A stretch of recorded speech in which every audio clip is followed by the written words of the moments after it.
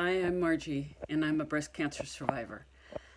By three weeks, I finished my treatment uh, three weeks ago. I was diagnosed a year ago, uh, April, and underwent uh, 17 weeks of chemo, two different types, uh, lumpectomy, and then six weeks of radiation. In addition, I received uh, infusions of a biomed to attack the HER2 positive uh, cells of the type of breast cancer I had, which took me then into July of this year. Uh, I live in Tenakee Springs, and I chose to receive my treatment at the Seattle Cancer Care Alliance. This is a place where my sister, who is a 20 plus year uh, breast cancer survivor, also received her treatment. And my mother, who passed away in 2015 from effects of uh, the metastasized breast cancer. My mom had also received treatment there at Seattle Cancer Care Alliance. While I was um, receiving my treatment, another sister, I have seven sisters, so there are eight of us girls. So another sister was also diagnosed with breast cancer. And she received uh, some of her treatment there at the Seattle Cancer Care Alliance also, and um, is now a survivor although all of us have had uh, breast cancer, all of it um, has been slightly different. And when genetic testing was done, we were not found to have the uh, breast cancer gene that so many people ask us about. Um, and why we all have um, gotten breast cancer, who knows? Um, but we have been able to deal with it. Uh, so, what I want to tell you about a little bit is um, receiving my treatment and where I was. It was um, really so much support from everyone that I know, uh, friends and acquaintances, past coworkers, really helped me through this difficult time. Uh, choosing to go to Seattle meant that I had to find some place to stay. I stayed most of the time with a cousin and her husband, and uh, with a sister uh, there in Seattle, but I also um, stayed at the uh, Cancer Connection organization's apartment there in Seattle. The Cancer Connection keeps this apartment there to make available to anyone from Southeast Alaska who is heading to Seattle for uh, uh, cancer treatments, diagnosis, um, maintenance, whatever. And I was able to stay there for a couple of months. And uh, I was so grateful to be able to have that uh, place to stay. It was during the worst um, of my uh, side effects from the chemo, and it was nice to not be in somebody else's home uh, when I was going through that.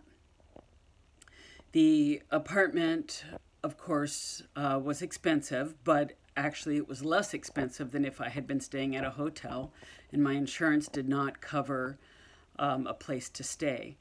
So I was able, unfortunately, I had to ask friends to help uh, me financially during this time, and fortunately they did, and they came through and made donations directly to the Cancer Connection, which was then able to go against my cost of staying there. The apartment was in a wonderful building that had a lot of amenities, um, but some of the things about the apartment itself was that there was a washer and dryer right in there and it was so completely not just furnished but um, ready just to to stay in. It was almost like um, house sitting for someone because the kitchen had every amenity you can imagine. It had food, um, canned food, uh, spices, whatever.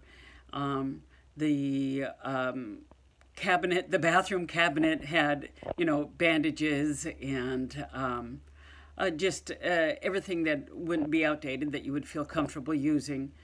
Um, and I didn't have to worry about getting all these things. So I was very grateful to be able, one, to have a place like this to stay, and two, to have um, friends and relatives support me in this. Um,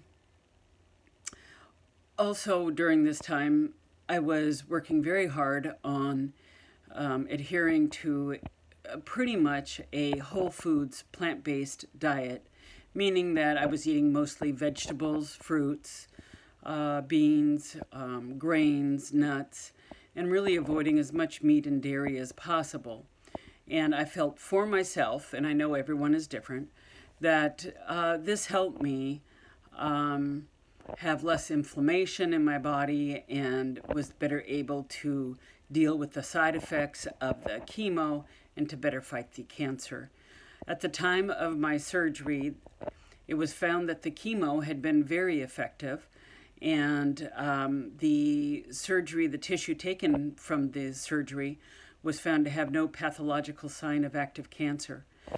Only 20 to 30 percent of the people who undergo the kind of treatment that I did have that success rate. So I, you know, very, um, I feel very humbled that I was able to achieve that. Um, during this time, uh, a young man from Juneau, Matthew Campbell, was also diagnosed with a cancer, a very rare, aggressive type of cancer, and I saw him a number of times at the Alliance with his mother, also receiving treatment, and uh, connected with him, and found his spirit to be just so uh, strong, his attitude, his love for life. And unfortunately, um, he did not um, uh, beat the odds, and he succumbed to cancer a number of months ago. And I think of him often and want to live my life like Matthew, embracing life and doing as much as I can. He was a brilliant young man working on his master's degree. He was a musician. He um, was an avid hockey fan and player and gave a lot back, um, not only to his community, but also um, volunteering in Africa um, using his engineering skills. So, um, with all this in mind, I am supporting the uh, Cancer Connection this year by virtually um, participating in Beat the Odds, and I'll do so in memory of Matthew, and hope to raise funds and um, work to support the Cancer Connection and all they do to support our local community in our fights against cancer. Thank you.